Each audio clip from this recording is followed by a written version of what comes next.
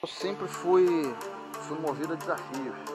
Estou batalhando, estou treinando, estou agora com 10 vitórias, estou invicto.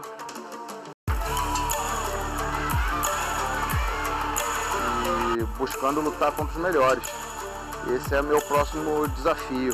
Na Olimpíada de Londres, eu perdi a vaga faltando último, praticamente no último segundo. E aquilo me podia ter me deixado para baixo, podia ter largado e parado de lutar, mas não.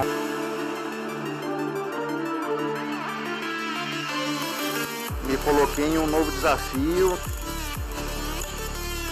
uma coisa que eu nunca tinha feito antes.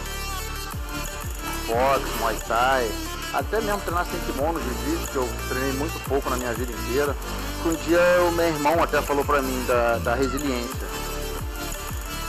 Que aquilo, como eu, como eu conseguia dar a volta por cima daquela derrota, entre aspas, né, de não ir para a Olimpíada de Londres, que foi no MMA.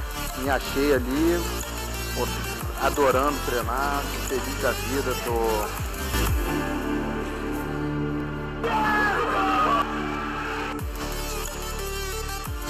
aprendendo coisas novas todo dia.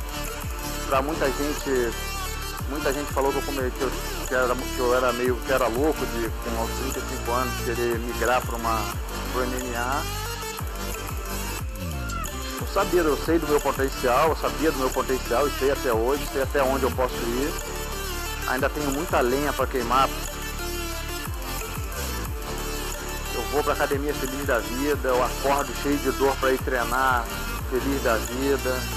Eu pego uma hora de trânsito para chegar na academia e não vou chateado, vou feliz. E enquanto eu tiver essa felicidade dentro de mim para treinar, eu vou continuar. Continuar buscando meu sonho aí de lutar num evento grande. Estou me sentindo muito bem ainda, lógico que o corpo fica um pouco mais desgastado do que, do que antes, do que dos mais novos enquanto essa chama estiver dentro de mim, eu não, não vou parar.